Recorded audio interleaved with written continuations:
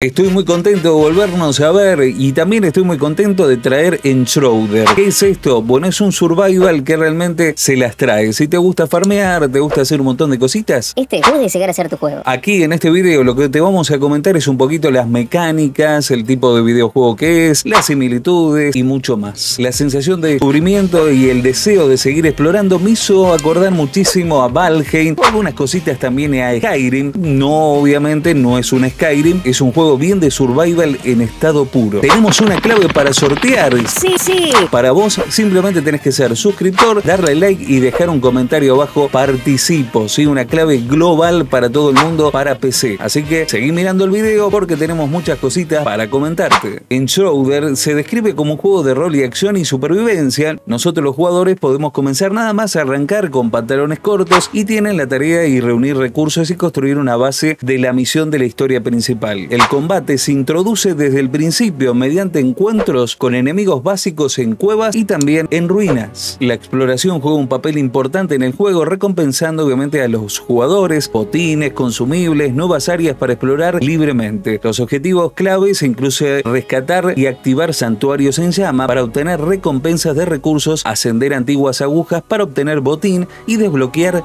viajes rápidos. Vamos a hablar un poco de la jugabilidad. Después de completar los pasos iniciales, los jugadores tienen la libertad de explorar el mundo y progresar a cada uno a su ritmo. La progresión implica explorar el mundo, completar tareas relacionadas con la búsqueda de nuevos NPC, desbloquear opciones de creación y construcción y mejorar el altar de las llamas. El juego presenta un mundo enorme con numerosos puntos de interés y también lugares para explorar. También es un aspecto importante del juego, ya que ofrece muchas horas de contenido incluso en las primeras etapas. El mundo y la exploración de Enshrouded, míralo. Esta sección se destaca en el tamaño del juego. Enshrouded analiza ubicaciones y también algunos puntos de interés. El mundo del juego de Enshrouded es estático en un lugar generado por procedimientos. A pesar de esto, ofrece una enorme variedad en términos de ubicaciones, enemigos, acertijos, botines y encuentros con jefes. Los asentamientos van desde enormes ciudades con edificios, sótanos y torres hasta enormes castillos. Las mazmorras como las catacumbas y los templos del sol ofrecen incursiones más largas con encuentros con enemigos,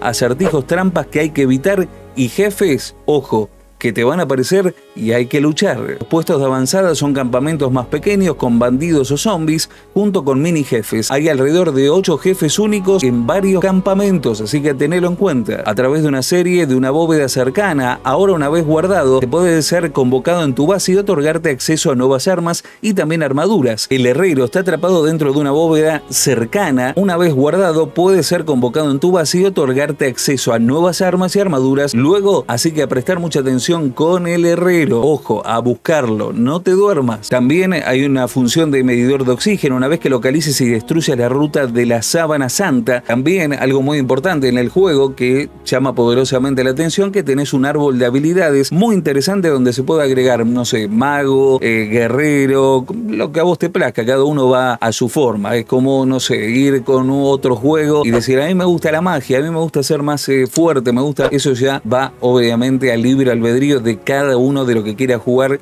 y a su manera. Resumiendo, creo que Enshrouded es un juego donde vas a pasar muchas horas para compartir con amigos. Eh, los gráficos están bien, el rendimiento quizás poquito a poco vaya mejorando. Recién salió como un pan caliente que recién sale. Yo creo que de alguna manera van a ir mejorando algunas cositas, pero el juego tiene mucho potencial. Espero que lo cuiden, que los servidores funcionen como corresponde y yo creo que es un juego que vale la pena probar. Y si vos lo querés probar, no te olvides, voy a estar regalando una clave del juego de PC en YouTube. Obviamente voy a hacer un video del ganador. Simplemente tenés que ser suscriptor del canal, dejar un like y un comentario. Decir, hola Daro, eh, participo. Lo que vos quieras, no hay ningún problema. Pero tenés que ser, obviamente, suscriptor. Dejate un like, que obviamente es gratuito. El sorteo es totalmente gratis y para todo el mundo. Es una clave de este juego en Shoulder para PC. Así que simplemente eso, participa, dejate un like. Próximamente sí se vendrá el video de Noticias Gaming, pero queríamos agradecer a Terminals, nos había enviado las claves y esta clave de regalo para ustedes los suscriptores de aquí de Danonauta que les habla. Así que nos vemos hasta un próximo video. Gracias por apoyar. Este fue una breve reseña. Escribir, like y dejar un comentario. Así de fácil,